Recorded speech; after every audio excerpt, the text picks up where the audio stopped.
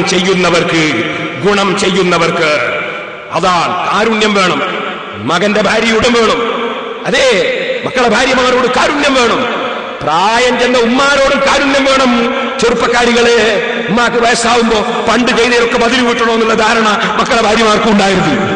കാരുണ്യം അങ്ങോട്ടും വേണം. ബാപ്പനോട് പകരം വീട്ടണോ എന്നുള്ള ധാരണ മക്കൾക്കും ഉണ്ടായിരുന്നു. പണ്ട് ബാപ്പ ഞാൻ വിചാരിച്ച പോലെ നടക്കാൻ വിട്ടിട്ടില്ല. എന്റെ ഭാര്യനെ കൂട്ടിയിട്ട് ടൂർ പോകാൻ വിട്ടിട്ടില്ല. അതിന് ഭർത്താവിന് ഉപ്പാനോട് ബദലി ചെയ്യണമെന്നുള്ള ധാരണ മക്കൾക്ക് ഉണ്ടായിരുന്നു ഇപ്പൊ ഒന്ന് പറയാൻ സമയമില്ല ഇവിടെ. സുബാനല്ലാ എന്തൊരു ലോകാണ്. ഒരാൾ ഇന്നാൾ വന്നിട്ട് പറയാണ് എന്തേ എന്റെ ബാപ്പ അല്ലെ എന്റെ ഉമ്മ സ്വത്ത് തീർത്തും. മൂത്ത മോന് കൊടുത്താൽ എന്നിട്ടോ എന്നിപ്പോ മറ്റുള്ള മക്കളൊന്നും ഉപ്പാക്ക് സുഖമില്ലാണ്ട് നോക്കുന്നില്ല. അപ്പൊ ഈ ഉപ്പാനെ നോക്കുന്നൊക്കെ ഈ സ്വത്തിന് വേണ്ടി. ഹാമുക്കുങ്ങളും സ്വത്തിന് വേണ്ടിയാണോ വാപ്പനെ നോക്കുന്നത്? സ്വത്തിന് വേണ്ടിയാണോ വാപ്പനെ ഉമ്മനെ നോക്കുന്നത്? ബാപ്പനെയും ഉമ്മനെയും നോക്കുന്നത് ബാപ്പയായതിന്റെ പേരിലല്ലേ? ഉമ്മയായതിന്റെ പേരിലല്ലേ? എന്നാ പിന്നെ തീരെ സ്വത്തില്ലാത്ത ബാപ്പനെ ഉമ്മനെ നോക്കണ്ട? എന്തൊരു കാരുണ്യമില്ലാത്ത ലോകം. ഇന്നാളെ ഒരു ചങ്ങാതി വന്നിട്ട് ചോദിക്കാണ് നേഴ്സറിയിലെ കുട്ടികൾക്ക് ബോർഡിംഗ് ഉണ്ടോ? നേഴ്സിലെ കുട്ടികളെ ബോർഡിംഗ് ഉണ്ടോ? എന്താ കാരണം? എന്നാ അത്രയും ഒയലുണ്ടാലേ കുഞ്ഞുങ്ങളെ കൊണ്ട്. രാവിലെ അങ്ങ് പറഞ്ഞിട്ടുണ്ടാവില്ല ബോർഡിങ്ങിലേക്ക് നേഴ്സറിയിലെ കുട്ടികൾ ബോർഡിംഗ് ആയാൽ തീരെ അധ്വാനിക്കണ്ടല്ലോ ഉമ്മാരി. ബാപ്പയും തിരിഞ്ഞു നോക്കണ്ടല്ലോ. നല്ല സുഖമല്ലേ ഇത് നടത്തുന്ന നമുക്കല്ലേ ഇത് വിഷമം അറിയുള്ളൂ. എന്നിട്ട് ബോർഡിങ്ങിലെ ബോർഡിംഗ് ആർക്ക്?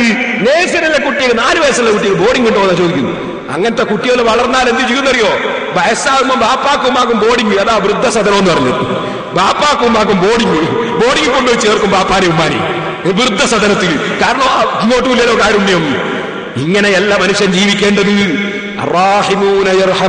റഹ്മാൻ. റഹ്മാനായ റബ്ബി കാരുണ്യം ചെയ്യുന്നവർക്ക് കാരുണ്യം ചെയ്യുന്നവനാണ്. മറ്റുള്ളവർക്ക് കാരുണ്യം ചെയ്യണം.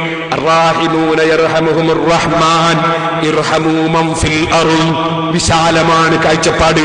ഇർഹമുൽ മുസ്ലിമീൻ എന്നല്ലല്ലോ നബി സല്ലല്ലാഹു അലൈഹി വസല്ലം പറഞ്ഞത്. മുസ്ലിമീങ്ങൾക്ക് മാത്രം കാരുണ്യം ചെയ്യൂ എന്നല്ലല്ലോ ആ മഹാനായ നേതാവ് പറഞ്ഞത്. വർഗീയതയില്ലല്ലോ പക്ഷപാതിത്വമില്ലല്ലോ ഭീകരതയില്ലല്ലോ ക്രൂരതയില്ലല്ലോ. ഓ ഡെൻമാർക്കുകാരാ. നിന്റെ ഡാനിഷ് പത്രത്തിൽ നാല് വര വരച്ചിട്ട് കാരുണ്യത്തിന്റെ അലൈഹി വസല്ലം തങ്ങളെ കുറിച്ച് ക്രൂരനാണെന്ന് പറഞ്ഞ് നീ നാല് വര വരച്ചാൽ അള്ളാഹുവിന്റെ റസൂൽ ക്രൂരനാണെന്ന് ചിത്രീകരിക്കാമെന്ന് ധരിച്ചു പോയോ ഡെൻമാർക്കുകാരാ? ധരിച്ചു പോയോ യഹൂദികളെ? ധരിച്ചു പോയോ ഇസ്ലാമിന്റെ ശത്രുക്കളെ? നിങ്ങൾ വിഡ്ഢികളെ സ്വർഗത്തിലാണ് കേട്ടോ? ആ നേതാവിന്റെ പ്രസ്താവന ഭൂമിയിലുള്ളവർക്ക് കാരുണ്യം ചെയ്യുക. ഭൂമിയിലുള്ള മാപ്പിളാർക്ക് മാത്രം കാരുണ്യമെന്നല്ല പറഞ്ഞത്. മുസ്ലിമേക്ക് മാത്രം കാരുണ്യമെന്നല്ല പറഞ്ഞത്. ഭൂമിയിലുള്ളവർക്ക് കാരുണ്യം ചെയ്യുക. ആകാശത്തിൽ അധികാരമുള്ള റബ്ബ് ആകാശത്തിലുള്ളവൻ നിങ്ങൾക്ക് കാരുണ്യം ചെയ്യും. ആകാശത്തിൽ എന്തുള്ളവൻ ആകാശത്തിൽ അധികാരമുള്ളവൻ നിങ്ങൾക്ക് കാരുണ്യം ചെയ്യും. മറ്റൊരു വ്യാഖ്യാനം അതിനുണ്ട് ആകാശത്തിലുള്ളവർ നിങ്ങൾക്ക് കാരുണ്യം ചെയ്യും ആകാശത്തിലുള്ളവർ ആരാണത് മലക്കുകളാണ്. മറ്റൊന്ന് മഹാത്മാക്കളാണ്. അങ്ങനെ മഹാത്മാക്കളെ കാരുണ്യം നിങ്ങൾക്ക് ലഭിക്കും. ഈ രണ്ട് നിലക്കും ആ വ്യാഖ്യാനമുണ്ട്. ഇരിക്കട്ടെ സഹോദരന്മാരെ കാരുണ്യമുള്ള രാജാവിന്റെ അടിമകളായ നാം കാരുണ്യമുള്ളവരാകണം. ഖുർആൻ പറഞ്ഞത് കണ്ടില്ലേ? മുഹമ്മദുർ والذين معه وشداء على الكفار رحماء بينهم تراهم ركعا سجدا يبتغون فضلا من الله ورضوانا. മുസ്ലിമീങ്ങളെ ആക്രമിക്കുകയും കൊല്ലുകയും നശിപ്പിക്കുകയും ചെയ്യുന്ന അവിശ്വാസികളോട് വേണ്ടി വന്നാൽ ഗൗരവം കാണിക്കേണ്ടി വരും. ആ ഗൗരവമാണ് അബൂജഹലിനോട് കാണിച്ചത്. അലൽ കുഫാർ എന്നാണ്. ആ അതേ നിലക്കുള്ള കുഫാറിനോട് ഗൗരവം വേണം. പക്ഷേ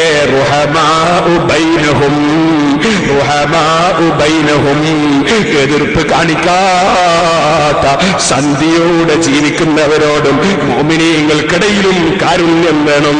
അങ്ങനെ കാരുണ്യം ചെയ്യുന്നവരാണ് അള്ളാഹുവിന്റെ ഹബീബായ നബി സല്ലല്ലാഹു അലൈഹി വസല്ലമ. തങ്ങളെ പിന്തുടർന്ന് ജീവിക്കുന്ന അനുയായികളെന്ന് ഖുർആൻ പഠിപ്പിച്ചില്ലേ?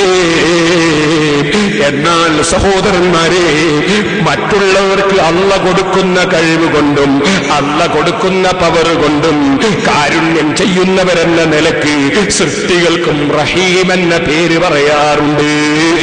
റഹീം എന്ന പേര് അള്ളാഹുവിന് പറയുന്നത് കാരുണ്യത്തിന്റെ ഉടമസ്ഥരും രാജാവും സൃഷ്ടാവും എന്ന നിലക്കാണ്.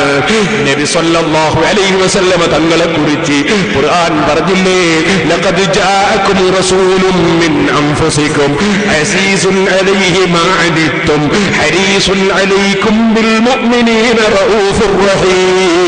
അല്ലാഹുവിന്റെ രണ്ട് പേര് ഒന്ന് റഊഫ് ഒന്ന് റഹീം. അത് രണ്ടും നബി സല്ലല്ലാഹു അലൈഹി വസല്ലം തങ്ങൾക്ക് അല്ല പറഞ്ഞില്ലേ? അത് ശിർക്കല്ലേ കുട്ടികളെ? മറിച്ച് അള്ളാഹു റഊഫാണെന്ന് പറഞ്ഞാൽ അല്ല ദയ ചെയ്യുന്നവനാണെന്ന് പറഞ്ഞാൽ ദയാലുവാണെന്ന് പറഞ്ഞാൽ അവൻ സ്വന്തമായ കഴിവ് കൊണ്ടും അധികാരം കൊണ്ടും ദയാലുവാണ്. റസൂലുള്ള ദയാലുവാണെന്ന് പറഞ്ഞാൽ അല്ല കൊടുക്കുന്ന പവർ കൊണ്ടും നല്ല മനസ്സുകൊണ്ടും കാരുണ്യം ചെയ്യുന്ന ദയാലുവാണ് റഹീമാണ്. അല്ല എന്ന് പറഞ്ഞാൽ സ്വന്തമായി റഹീമാണ്. അതേസമയത്ത് റസൂലുള്ള റഹീമാണെന്ന് പറഞ്ഞാൽ അതേ അല്ല കൊടുക്കുന്ന കഴിവ് കൊണ്ട് റഹീമാണ്. അപ്പൊ അള്ളാഹുവിലേക്ക് എന്ത് പറഞ്ഞാലും സ്വന്തമുള്ളതാണ്. സൃഷ്ടികളിലേക്ക് എന്ത് കൂട്ടിയാലും അത് അല്ല കൊടുക്കുന്നത് കൊണ്ടാണ്. അതുകൊണ്ട് തന്നെ സഹോദരന്മാരെ ഖുർആനിൽ പറ്റിയും പറഞ്ഞു റുഹമാഉ ബൈനഹും. റഹീമുകളാണ്. റഹീമുകളാണ് റഹീമുകളാണ് എന്ന് പറഞ്ഞാലോ അവരും കാരുണ്യം ചെയ്യുന്നവരാണ്. ആ കാരുണ്യം അല്ല കൊടുക്കുന്ന കഴിവ് കൊണ്ടുള്ള കാരുണ്യമാണ്. അപ്പൊ സൃഷ്ടികളിൽ നിന്ന് കിട്ടുന്നതെല്ലാം സൃഷ്ടികളോട് ചോദിക്കുന്നതെല്ലാം സൃഷ്ടികളിൽ നിന്ന് പ്രതീക്ഷിക്കുന്നതെല്ലാം അള്ള കൊടുക്കുന്നത് കൊണ്ട് കിട്ടുന്നു എന്ന നിലക്കാണ്. അള്ള കൊടുക്കുന്നതിൽ നിന്നാണ് അള്ളാഹുവിൽ പ്രതീക്ഷിക്കുന്നതെല്ലാം അള്ളാന്റെ കാരുണ്യമെല്ലാം അള്ളാഹുവിന്റെതെല്ലാം സ്വന്തമായുള്ളതാണ്. ഇവിടെയാണ് വ്യത്യാസം കേട്ടോ.